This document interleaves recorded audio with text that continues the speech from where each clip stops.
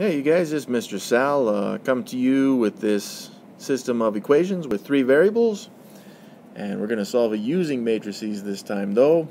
So hopefully you guys can see that this strategy, especially with three variables, would be a little bit shorter than to solve using elimination, which you can see in some of the other videos I have on the channel.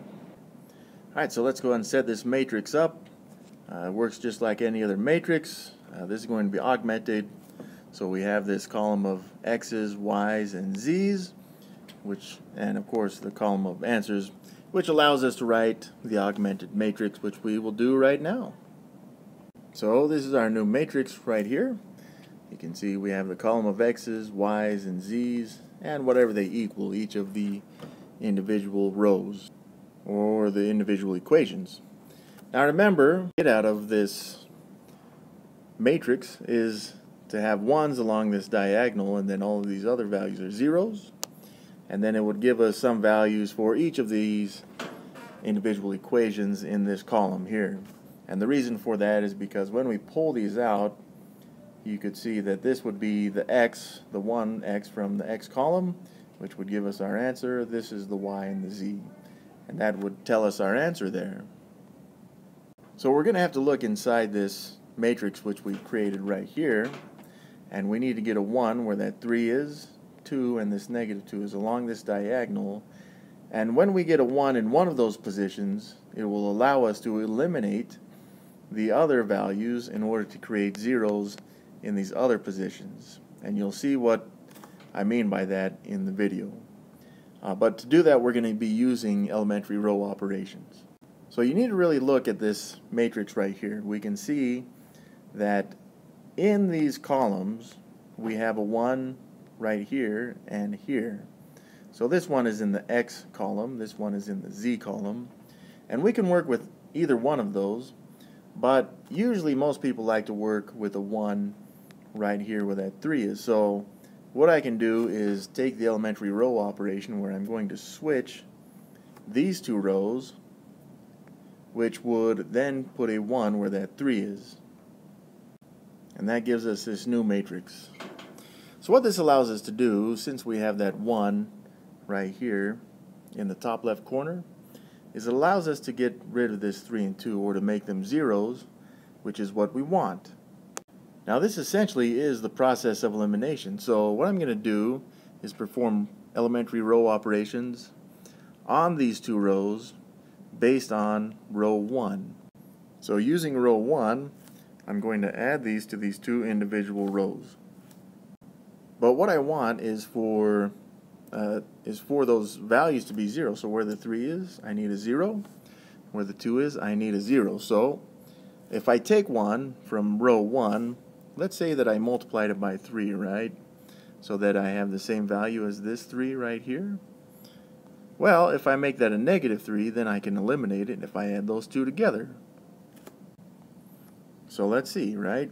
If we do negative 3 times this 1 plus that 3, then we get a 0 right here.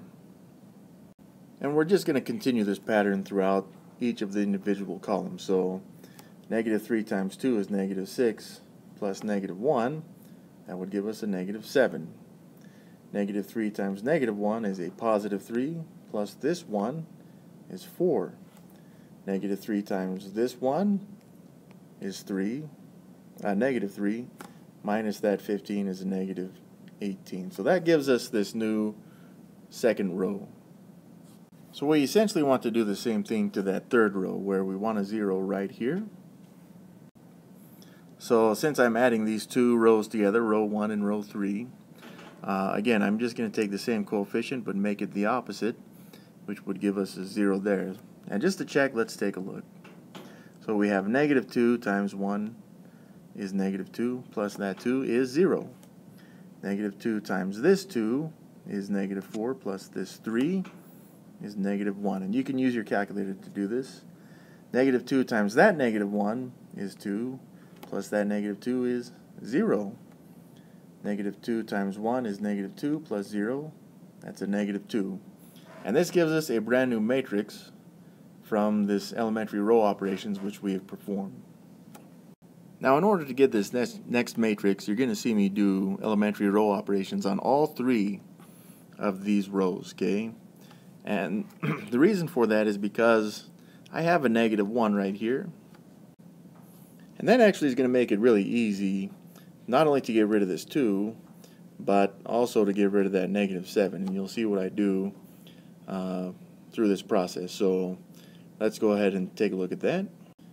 Now all of these operations are based on row 3, right? So I'm going to work on, for example, row 1, row 2, and row 3 this time. But it's all going to be based on row 3, right? Like this. And since I already have row 3 in row 3, I'm just going to be multiplying that by something in order to change it. So let's look at row 3. If I multiply row 3 by 2, then I would have a negative 2, which if I add to this 2 would give me the 0 right where I want it, right? Now notice, as we do this, this is not going to change any of the values in the x column. And that's because the coefficient of x in the third row is 0. So as we add up here using the elementary row operations to these other two rows, it's not going to change any of those values because it's the identity property of addition. Now you don't have to fully understand that right now, but you will see it happen as we work with these rows, which is why it's important to get a 1 and then also to make these other values zeros. Now what we're doing here is as we work with these uh, three rows from row 3, you're going to see these other two values become zeros as well, which will allow us to use other elementary row operations and it won't change these zero values. So let's start first with row 1. I need to multiply this negative 1 by something where when I add that value to 2 I get this 0. So if I take negative 1 and multiply it by 2 from row 3 and I add it to row 1 then I get that 0 which is what we wanted. Now if I take 2 times this 0 and add it to this negative 1 it stays the same. 2 times this negative 2 is negative 4 plus 1 is negative 3. And that completes that first row where we can see we have a 0 right where we want it. Okay, So now we'll work with that second row. But notice if I multiply this one negative 1 by 7 and add it to this negative 7, then I get a bigger negative. So I need to make that the opposite. Okay, So that would give me a positive 7 minus or plus rather that negative 7 would give us a 0 right here as well. And also this negative 7 times 0 plus this 4, that doesn't change anything there. Negative 7 times this negative 2 is positive 14 plus this 18, that would give us a negative 4 there. And that leaves us with row 3, which really what we want is a positive 1 right here, where this negative 1 is. So in order to change that, I'm just going to multiply it by negative 1. So negative 1 times negative 1 is 1. Negative 1 times 0 is 0. Negative 1 times 2 is 2. And the next thing I'm going to do is I'm going to switch these two rows so that the 1 is technically in, in its proper place. You don't have to switch it at this point. Uh, you could work with these other two rows from here, but uh, I'm going to switch these just so we have the ones in this diagonal right here. Now as close as we are to this, having ones along this diagonal, we still need this negative 1 to be a 0.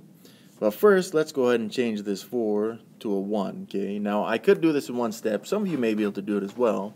But because this process is lengthy and some of you may be struggling with it as it is, I'm going to do this in two steps just to break it up a little bit. So to make that 4 1, I'm just going to be working strictly with that specific row, row 3. And since it's already a 4, I'm just going to multiply it by 1 fourth.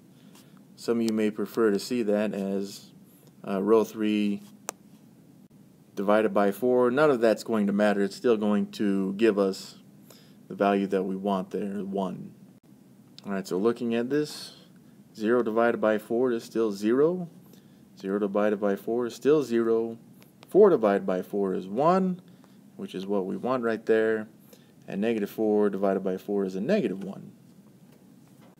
Alright, so in this matrix, we pretty much have zeros and ones everywhere we want them except this negative 1 right here, which we need to get rid of. And we can see now that we have zeros along row 3, if we work with row 3 on row 1, it's not going to be affecting any of these other values here. Okay, So let's take row 3, and we're going to be operating on row 1. And look, if we just add these two together, right, if I take row 3, which in this case is 1 in this z column, I just add it to that negative 1. I will have the 0 right where I want it. And again, it's not going to affect the rest of that matrix, which is what we want, okay? And you're going to see how this works here uh, and how effective that is. So looking at that, we know we get a 0 there.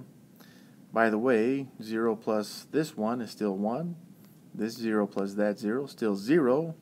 And we have exactly what we wanted from the beginning. We have a diagonal of 1s and zeros everywhere else. Now to use that final column, we have that negative 1, and we will add that to this negative 3, which is negative 4. And behold, this is our column of answers. So these are in a matrix. Let's go ahead and pull each of these columns out. So we have x equals negative 4, y equals 2, and z equals negative 1. And as an order triple, this would give us a negative 4, 2, and negative 1. So just so everyone is clear, this is not complete though, alright? This is just the answer we think is the answer. So we need to go back to the original equations and check each of these three. Alright, so checking the first equation, I've already done the problem for you, just the checking. Again, I've only replaced the x, y, and the z in this equation and then found that the statement is true. So we know that these three, this coordinate triple, gives us a true statement in this equation. But it needs to give us a true statement in these other two equations. So let's check those as well. Alright, and there's the work for the second equation. Again, all I've done is replaced x with negative 4, y with 2, and z with negative 1, which again gave me a true statement. And finally, I would want to check the third equation, which I've done for you there, and we find that all of those are true. So that allows us, especially on a test, to know that our answer was correct. Now, if they're timed, it may not be prudent to check these right away, unless you're able to use a calculator, all right? But this allows you to see that your answers are correct if you do have plenty of time. Maybe you even have to come back on your test. And this shows all the work for it. Again, we did get to skip some steps because we weren't working one row at a time on some of these uh, matrix. So I hope you guys found that as helpful. Uh, now that this video took a little bit longer than the elimination method. However, some of you guys can get really good at this and solve these really quickly, especially when you can start really combining some of the elementary row operations together. So if you found this video helpful, Please subscribe to the channel. Thanks for watching, and good luck on your math, you guys.